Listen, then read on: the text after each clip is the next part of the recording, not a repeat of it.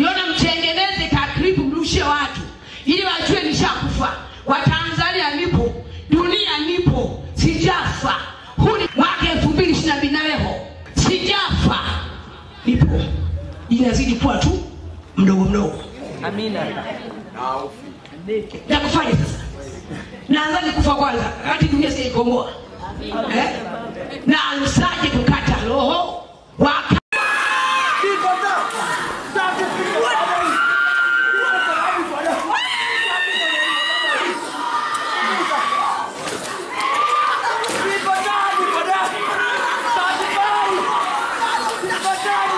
Nyumbani kwa Diana Bundala maarufu kama Mfalme Zumaridi ni maeneo ya Buhongwa jijini Mwanza. Sintofahamu inaibuka katika nyumba hii kati ya wafuasi wa Mfalme Zumaridi na maafisa usalama waliofika nyumbani hapa kwa ajili ya kumkamata Mfalme Zumaridi kwa ajili ya mahojiano. Taharuki inaibuka baada ya watu wanaosadikiwa kuwa ni mitume wa Mfalme Zumaridi kujaribu kuwazuia maafisa wa usalama kutimiza jukumu lao. Baadaye jeshi la polisi jijini Mwanza linatoa taarifa kwa vyombo vya habari kuhusu kukamatwa kwa mfalme huyo na kuweka bayana. Baada ya muda, jeshi la polisi jijini Mwanza linatoa taarifa kwa vyombo vya habari kuhusu kukamatwa kwa mfalme huyo na kuweka bayana tuhuma zinazomkabili. Kwa kuwa mnamo mwaka 2019 kanisa la mfalme Zumaridi lililokuwa katika kata ya Is lililokuwa Iseni kata ya Butimba jijini Mwanza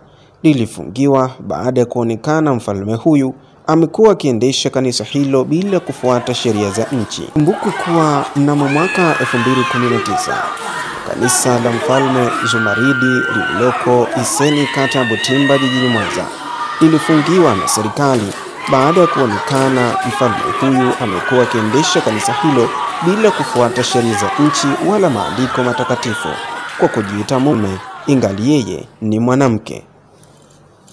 Kamanda wa polisi mkoani Mwanza, kamishna msaidizi mwandamizi wa polisi Ramadhani Ng'anzi amewaambia waandishi wa habari kuhusu tuhuma hizo zinazomkabili Diana Bundara maarufu Mfalme Zumaridi. kuna watu jumla ya 149 zaidi ya 149 na wenyewe walikuwa wanaishi pale.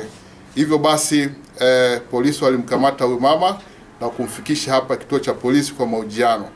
Lakini vile vile kuna watoto ambao wana umri kati ya miaka minne mpaka kumi na wenyewe walikuwa wakishikiliwa hapo, na mkiangalia umri huu wa watoto kutoka miaka minne au kumi na saba watakiwa katika eh, madarasa mbalimbali wakipata elimu Kamanda Ng'anzi amesema Mfalme Zumaridi amekamatwa Februari 26 mwaka huu nyumbani kwake kata ya Buhongwa wilayani ya Nyamagana mkoani Mwanza kwa tuhuma za kujihusisha na usafirishaji haramu wa binadamu. Jeshi la polisi liko hapa kisheria, na kwenye kutimiza majukumu yake tutatimiza majukumu hayo kisheria.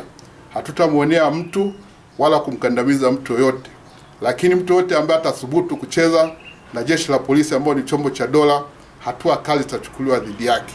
Kwa huyu mama tutakamilisha upelelezi haraka iwezekanavyo na tumfikishe mahakamani, kwanza kwa kuwazuia askari kufanya kazi yao, lakini pili eh, kuwakusanya watu wengi wakiwemo watoto wadogo Katika hatua nyingine, kama nanganza amesema polisi inaendelea kutekeleza maelekezo ya mkurugenzi wa mashtaka ya umma taifa DPP ya kuachia watuhumiwa wa makosa ya vitendo vya kujihusisha na ugaidi. kesi zote ambazo hazina ushahidi madhubuti kwa sasa e, wazichunguzwe na baadaye wapewe e, dhamana au wachiwe na mahakama. Na mahakama ilifanya hivyo, ambapo jumla watu 39 wenye makosa hayo e, walipewa dhamana baada ya kuachiwa na mahakama, na wamepewa masharti wafike hapa katika kituo cha polisi kikuu Mwanza mara mbili kwa mwezi kuripoti. Polisi mkoani Mwanza imewaonya wanaojihusisha na tabia ya kutumia mwamvuli wa dini kuwahadaa wakazi wa maeneo mbalimbali wanapopata matatizo ya kijamii hususan magonjwa na hali ngumu ya maisha kuacha mara moja. Wilson Elisha,